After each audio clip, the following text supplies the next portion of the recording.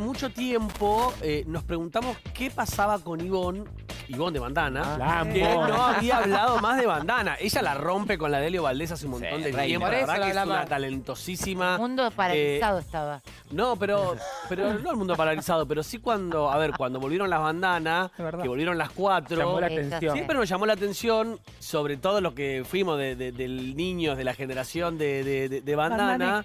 Eh, nos preguntábamos, ¿viste? Estaba bueno volver a verla Obvio. a las 5. Bueno, con las Spice Girls pasó lo mismo, nunca se pudieron juntar las 5 verdad. otra Sí. vez. No sé la Sí. comparación, no sé por qué. Pero. Pero ¿por qué Está no bien, con está bien. Con nuestras Spice. Está bien, Sí, las está bien. Stars también. bueno. Ay, qué papelón las La- celestes. la- las bandanas realmente eh, marcaron un antes y después en el, el Sí. tema musical de las girl bands de Argentina eh, y, y Bon no, no volvió. Y la verdad que no, no había hablado nunca y estuvo en un streaming y habló y contó los motivos por qué decidió no volver y lo mal que la pasó, cosa que ya han contado otros Sí. participantes y otros integrantes de este tipo de bandas. Tema de eh, ataques de pánico, acoso de los fans, todo esto en este compacto. Mira. A ver. Inocente. ¿Qué onda? ¿Cómo, ¿Cómo se llevaban entre ustedes? Bueno, debe haber pasado de todo. La ¿no? verdad que estuvo, eso fue lo mejor que tuvo el bandana. La experiencia humana fue lo mejor porque nosotras hacíamos terapia además de grupo. Nos hizo entender qué era lo que estaba pasando en ese momento, a, a modo, a grosso modo, como, ok, esto es un sistema que se maneja así. Si ustedes no están así, esto es una picadora de carne que las va a, a deglutir y escupir. Así era. El fanático adolescente. Wow. Wow. Wow, sigue, o sea, sigue siendo así. Lo que pasa es que uno une en la etapa adolescente está como Eufórico. Todas las, Hormonas, todas las, hormonas, ¿a dónde claro, pasa? O sea, testosterona, flor de piel. vos ves a la persona que admirás y te, ¡ah! te desborda Sí. todo y no te controlas porque sos adolescente. Estaba Sí. aprendiendo eso, justamente, ¿no?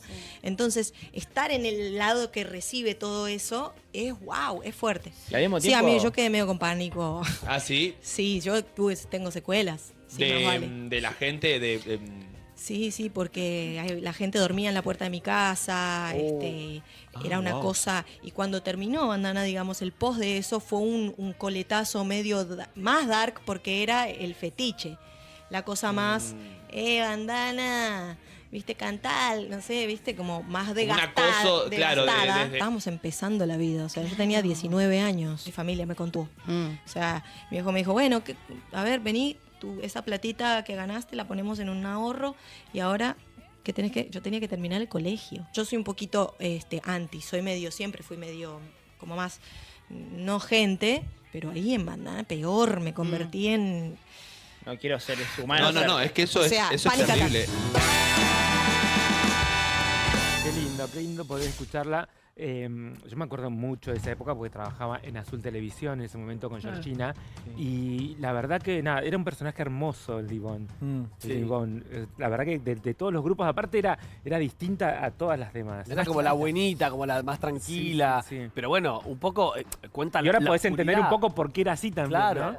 Eh, cuenta la, la- la oscuridad que se vive también en este tipo de grupos, que lo han contado artistas nacionales, internacionales. Mm. Digamos, es un mal que se da en, en- en todos tipos de banda cuando un grupo de chicas jóvenes o chicos jóvenes tienen semejante éxito. Claro. Ella se puso muy firme, eh, tuvo una reunión con Gustavo Yankelevich, y, Mm. y esto me consta. Cuando, vol- Cuando la vuelta. volvió la vuelta ahora en el 2017, una reunión a solas, Mm. eh, Gustavo la quería convencer eh, de todas las maneras, de todas las maneras. Ella se puso firme y dijo no.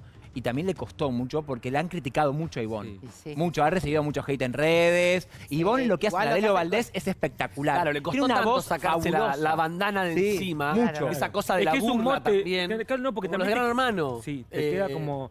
Sos una bandana de por Sí, vida. Entonces, eh, yo creo que, que lo que le pasó, bueno, lo dice también en la nota, eh, es no quiero volver a eso, porque después, No, ¿cómo me lo vuelvo a sacar? Claro. Ella se hizo otra carrera por otro lado y es súper. también es Es tener, es tener ¿eh? eh, se llama identidad artística. Claro. Es, es- es pasar algo que fue enorme como las bandanas y hacerse su nombre propio como lo, lo es en la de ellos. Sacar No, y ese aparte, imagínate, prejuicio. ¿qué vas a volver después de que, que lograste todo eso para que te vuelvan a identificar Claro. con ese producto tan fuerte? No, claramente. Aparte que yo me acuerdo en, en la de Elio Valdés los primeros años nadie la asociaba Nadie. con lo de... ¿Te acordás? Nadie. Nadie. Nadie. Después porque se volvió a hablar de bandana, pero la verdad Igual que... te digo que hoy me parece que hoy como está instalada ella, Ivonne, en la, el- con, con su banda, con la Delio Valdés, hoy sí se puede dar ese permiso de hacer un bandana y no va a quedar No pegada. creo que lo quiera hacer. No, no creo que lo quiera hacer, pero me parece que analizándolo desde afuera, desde Podría ir un día lo que te puede quedar, pe- pe- que des- puedes quedar pegado o no, me parece que hoy ya no, no, no le afectaría. Quizás en ese 2017 que todavía estaba en construcción Claro. y, en, y en momento de sacarse encima,